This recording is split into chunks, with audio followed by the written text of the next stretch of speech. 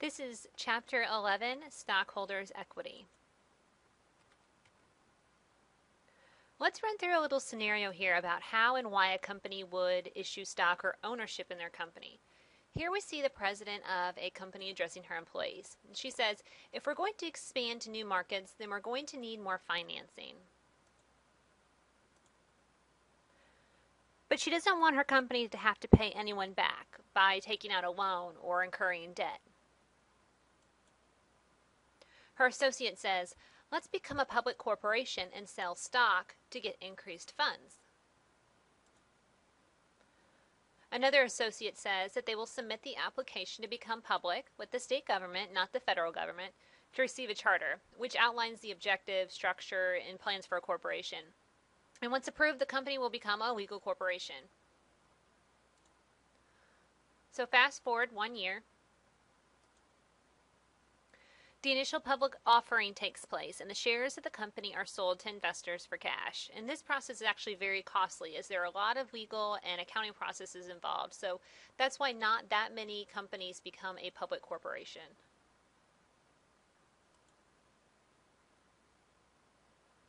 Here we see this new stock owner that was able to purchase shares in our fictional company. In addition to voting on important issues at annual meetings, Stockholders have other benefits. Stockholders have the right to receive dividends.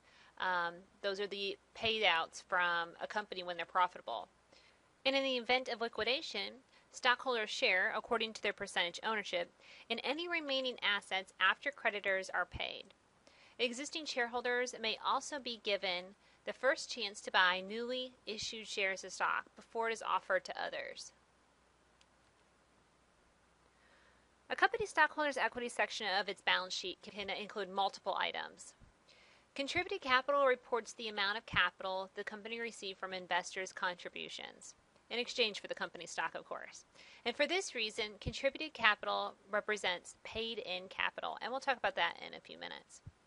Retained earnings reports the cumulative amount of net income earned by the company less the cumulative amount of dividends declared since the corporation was first organized. And a lot of people like to call this the savings account of a corporation. It's just the cumulative amount of net income over, over time. Treasury stock represents those shares that were previously owned by the stockholders but have now been acquired and are now held by the corporation. And accumulated other comprehensive loss and income is a very high level advanced accounting topic. But basically, it just reports unrealized gains and losses, which are temporary changes in the value of certain assets and liabilities the company holds. So that can be things like pensions or fluctuations in foreign currencies. Again, that's a very advanced topic. There are several terms related to stock that we need to understand first. Authorized shares are the maximum number of shares that can be issued to the public. The number of authorized shares is identified in the corporate charter of the corporation that is issued by the state. Authorized shares can be classified as either issued or unissued. Issued shares are authorized shares of stock that have been distributed to stockholders. Unissued shares are authorized shares of stock that have never been issued to stockholders. So here we see our issued shares. And issued shares can be classified as either outstanding or treasury stock. Outstanding shares are shares that are currently owned by the stockholders. And treasury stock are the shares that were once owned by stockholders, but the corporation repurchased those shares in the stock market. And now the corporation is actually the owner of those shares.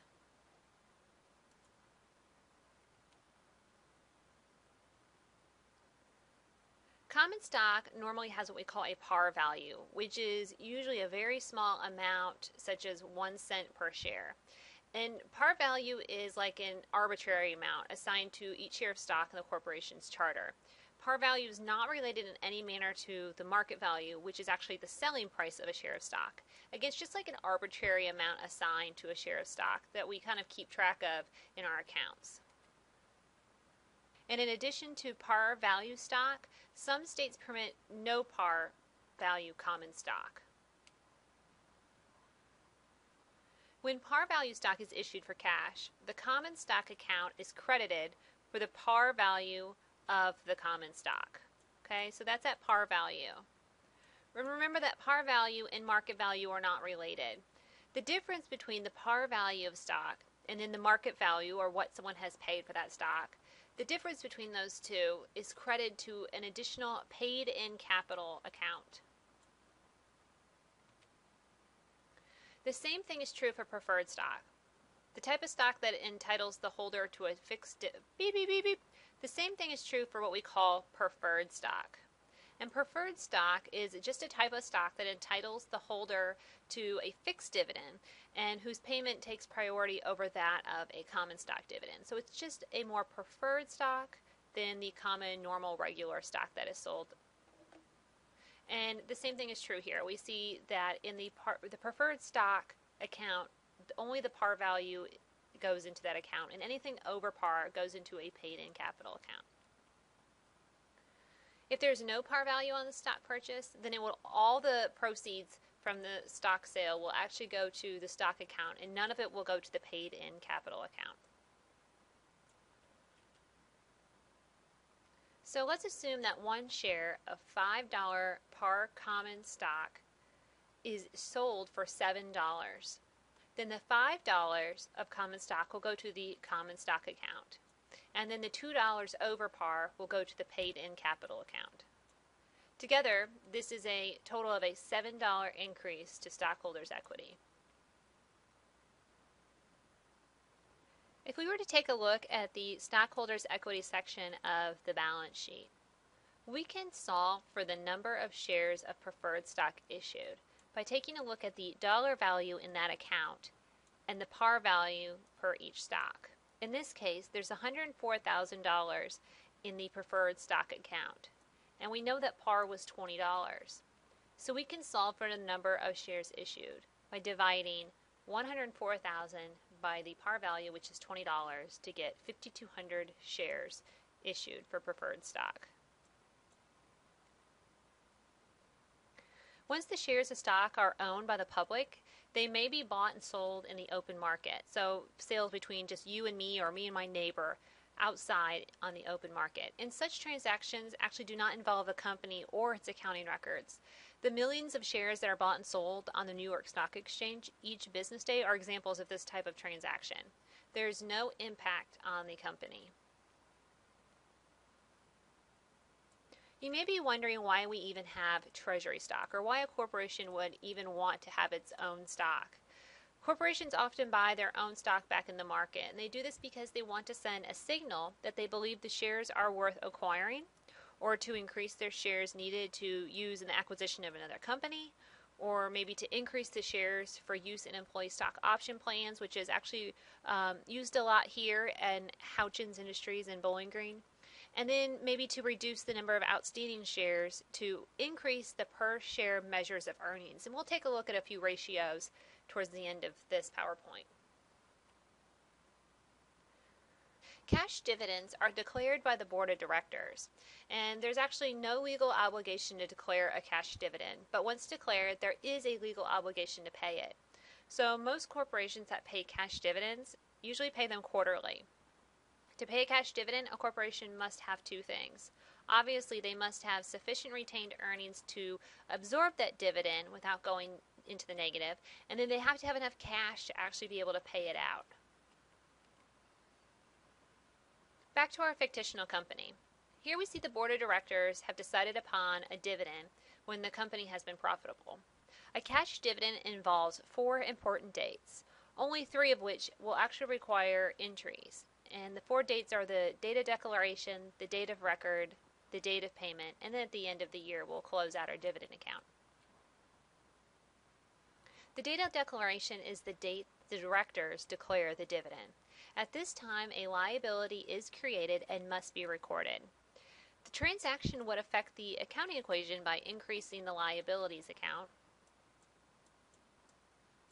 dividends payable, and then decreasing stockholders' equity by the same amount to represent the dividends. The dividends account is a temporary account that is closed to retained earnings at the end of the year.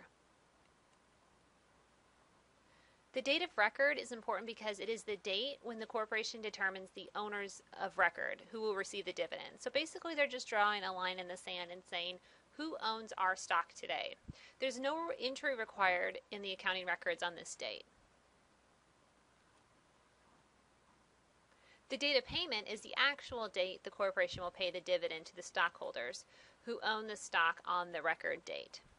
This transaction would affect the accounting equation by decreasing the liabilities or the dividends payable, so we no longer have an obligation to pay, and then by decreasing the asset for cash because we've actually made a cash payment for those dividends.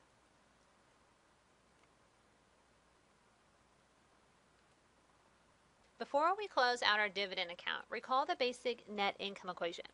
The retained earnings is impacted by an increase from net income, and then dividends are being deducted. We will want to subtract our dividend amount from our retained earnings at the end of the year. And that's what we see here. At the end of the accounting year, all temporary accounts, those were like the expenses and the net income, including dividends, are closed into the retained earnings account.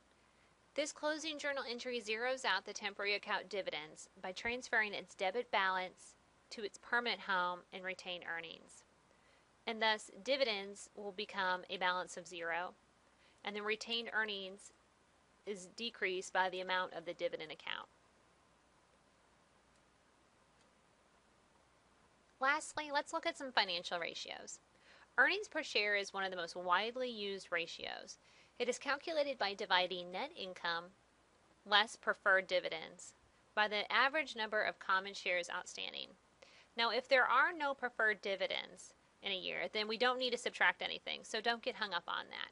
This will tell us the portion of a company's profit allocated to each outstanding share of common stock.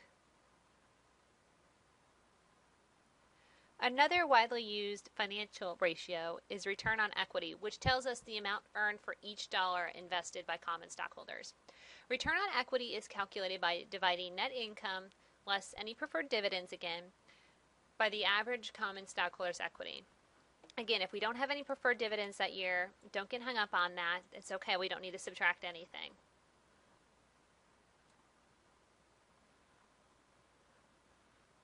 The PE ratio is a measure of the value that investors place on a company's common stock. It is calculated by dividing the current stock price per share by the annual earnings per share. If a PE ratio is 20, then the ratio tells us that investors are willing to pay 20 times the current year's earnings for a share of stock. And investors will use this to compare it against companies outside of the, of the same industry. That way they can know which one has the best value.